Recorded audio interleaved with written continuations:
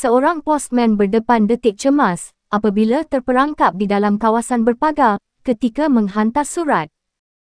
Menerusi video yang dikongsikan dapat dilihat, postman tersebut mahu meletakkan surat di kawasan rumah, namun secara tiba-tiba pagar rumah dilihat tertutup, menyebabkan postman tersebut terkurung di dalamnya.